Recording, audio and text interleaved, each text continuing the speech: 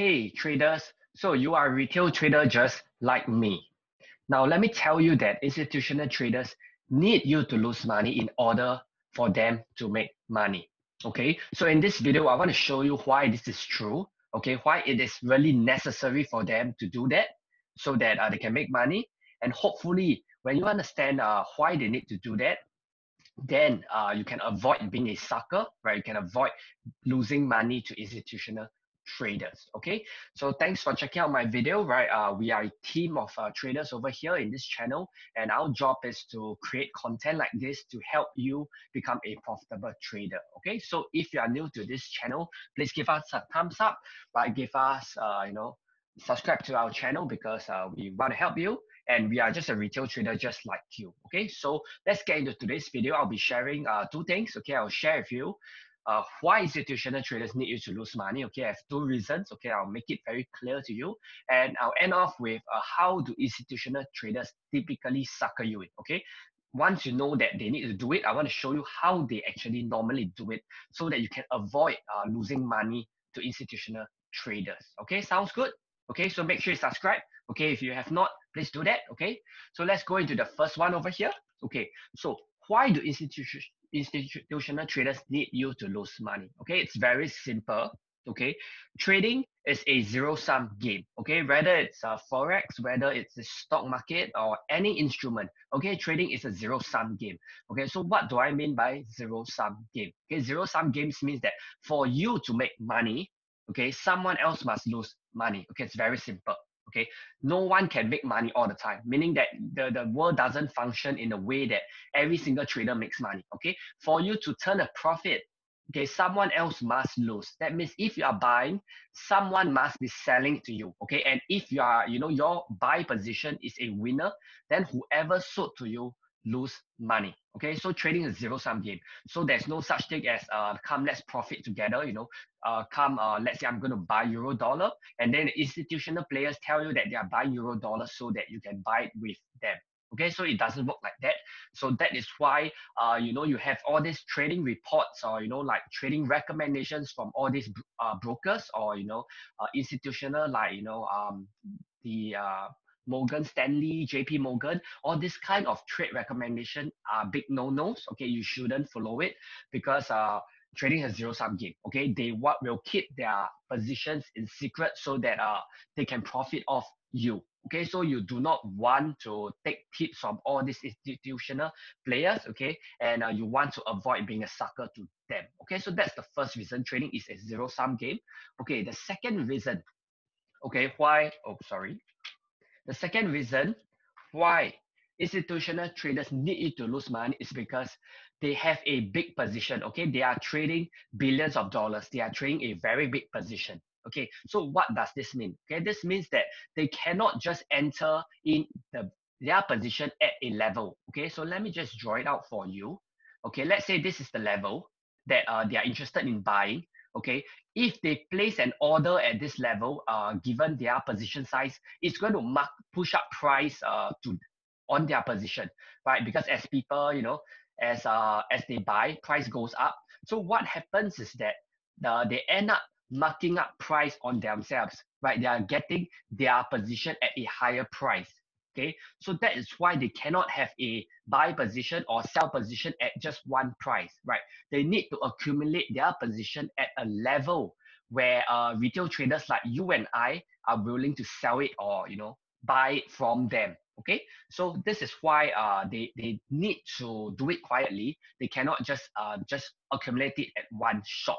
Okay, so who's going to sell it to them? Who's going to sell them all these, you know, uh, positions that they want to buy? Okay, so let's say this is the support. Okay, let me just uh, clear this for you. Okay, let's say uh, 1.10 is the support and that they wish to buy. Okay, what they will not do is they will not just uh, do an entry order like this, like retail traders like us, right? If we believe that uh, this level is uh, the level that we want to buy, we just buy it like that, and then you know we set our uh, stop loss and take profit. But institutional traders they don't because they have a big position. What they will do is they will have a lot of orders. They will have a lot of levels to uh, place their orders. Okay, they will maybe enter it at this level, and then they have another series of orders at uh, maybe just slightly below okay, and another order, okay, so on and so forth. Okay, I'm not going to draw everything out for you, uh, but the idea is, is that they are actually accumulating their position in clusters, okay, meaning that they are accumulating the positions that we as retail traders want to uh, sell. For example, when we're willing to sell to them, they come in and scoop it up. Okay, so that's how they get uh, the best pricing, right? By having us, right, as retail traders, uh, sell it to them. We give them the liquidity. Okay, so that's why uh, this video is very important. Uh, I have a lot of other videos about how institutional traders are manipulating the market to sucker you in. So uh, I will leave some uh, links, maybe at the top right, to show you the other videos that I have for you, just in case you have not watched them. Okay, but this is why they need you to lose money because they need you to provide the liquidity. And this happens when you know you put your stop loss in the wrong places okay when you are getting out they are actually buying your stop losses. They are literally eating your stop losses okay? So do not do that okay? So now you understand why institutional traders need you to lose money okay? Hopefully i've been clear enough okay? Hopefully you are convinced that uh, you know trading is really a zero sum game and uh, you know institutional traders are out to eat you because they need your liquidity okay? So i want to show you how the institutional traders typically sucker you. Okay, so this is very important because uh, you understand the theory now. Okay, now here's the practical part of it. Okay, what should you do, you know, so that you do not lose money, and if possible, right, you want to accumulate positions where institutional traders are actually accumulating their positions. So basically, you want to join them. Okay, you do not want to fight against them. Okay. So how do institutional traders typically sucker you in? Okay, uh, let me just uh, draw it out for you. Okay, I actually covered this in the other video called the Forex Master Pattern, but uh, I just want to do, you know, a quick, uh, you know, just a quick introduction over here, uh, just in case uh, you did not watch, watch that video uh, and you do not wish to click over to check out that video. Okay, so what happens uh, in this kind of scenario is typically uh, institutional traders will do something like this. Okay, you have an uptrend and then there's a retracement coming down. Okay, so what happens is that uh, price starts going up okay? And there is a form of support over here, okay? And a lot of new retail traders, okay, uh, they see that price is rebounding off support and they miss this uh, parallel up move, okay? So, you know, they get excited, they say, okay, I need to trade with the trend. So what happens is that uh, they enter a trade somewhere here and then they put their stop loss below the swing low, okay? So this is what a lot of trading books teaches and this is what institutional traders know. They know that your stop loss is all over here. Okay. So what do they do? Okay. What do they do? They purposely drive price down first. Okay. They drive the price down first over here. Okay. Because your stop loss is over here. And meanwhile, uh, this is your trade. Okay. Let me just clear this so that's clearer. Okay. So this is your trade over here. Okay. This is the retail entry. Okay. Let me call it a retail entry okay this is the retail entry and what institutionals are doing is that they are actually doing something like this. Okay they have their they have their order here. Okay let me say your let's assume that your stop loss is at this level. Okay what they are doing is that where your stop loss is is actually where their entry is. Okay so they are trying to uh, accumulate the position that uh, you have. They're trying to buy it from you because at this level the retail entry uh, you and I, we are selling over here to cut our losses. But what the big boys they are doing is that they are actually buying, putting their orders over here, and then they shift their stop loss uh, below.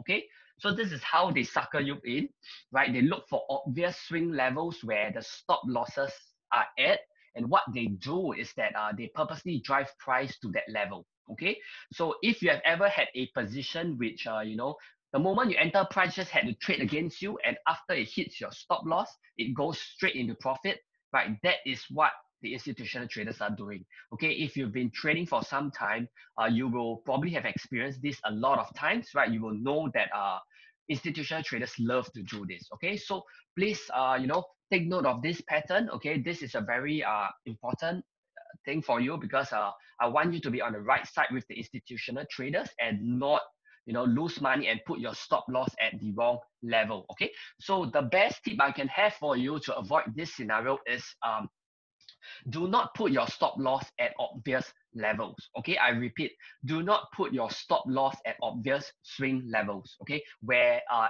people know where the, the stop losses are. Okay, let me show you some examples. Okay, let's say um, let's say you you long here. Okay, let's say you bought a position over here. Okay, because you know, like like I said, I drew the pattern just now. Right, let me just uh let me just uh leave that on so they can see. Let's say you buy over here. Okay, you put your stop loss below the swing low. Okay, it's kind of exactly like this pattern. Right, you have the up move and then you have the retracement, and then you have the second uh, the up, up, up move, right? You you buy somewhere here thinking that this is a, the support, but look what price did. It just comes back a bit more, and then it slams it down to stop you out, right? Because you put your stop loss below a recent swing low. Okay, so that's very important. Do not put your stop loss at obvious levels. Okay, in this case, uh, it's better if you have put your stop loss below here okay so please uh, take this in mind okay uh, this is not the full strategy i do have the other videos which show you how to profit from it but in this video uh, i think the focus is really to show you that institutional traders really need you to lose money okay? They need you to lose money in order for them to profit okay? It's something that they have been doing for years okay? It's something that they must do. If not uh, they can't turn a profit okay? So i do not want uh their profit to be your loss and that's why I created this video okay? I have a lot of other videos like this okay? I also have a free day trading guide for you. The links in the description uh, if you have not checked that out please grab a copy of that. It's free. Okay what you can do is you can apply this concept together with the uh, MPE strategy that uh, I teach in the free day trading guide okay? So i hope uh, this video has been uh, informative for you. I hope you learned something okay? If you have any questions you know how to apply this uh, you know like uh, why is this so just any questions right? Just feel free to comment down below right? Uh, give us a thumbs up at the same time. Leave a comment below tell us uh, you know what are your struggles uh, you know if there's anything that's not clear and our our team will be very happy to help you okay? Just let us know okay? If not thanks for watching. I'll see you in the next video